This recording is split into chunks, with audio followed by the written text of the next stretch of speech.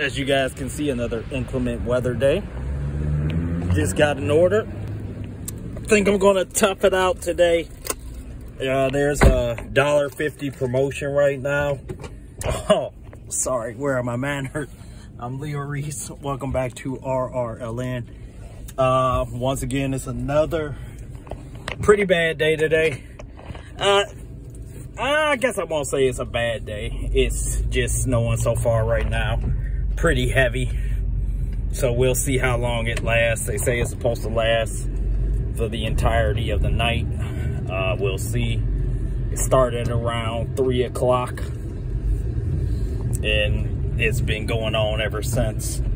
So we'll see how long this lasts. But I think I'm going to try to tough it through today just because of the promotion and because I'm broke. okay.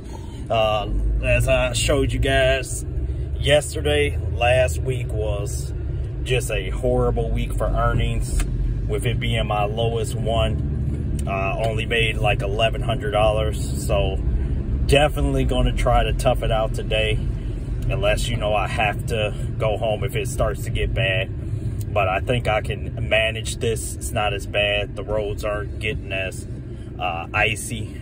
It's kind of like melting as soon as it hits the uh, pavement. So we'll see how long it lasts. But so so far, pretty good day. I'm already at a $100 for a Thursday.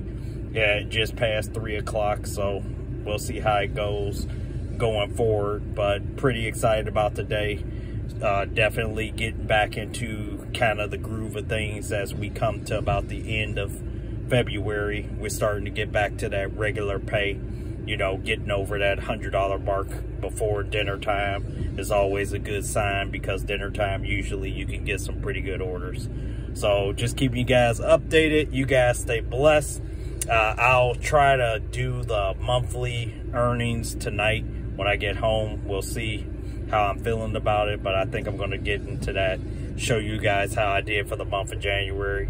But stay blessed. Uh, you guys take care, uh, and I'll talk to you soon.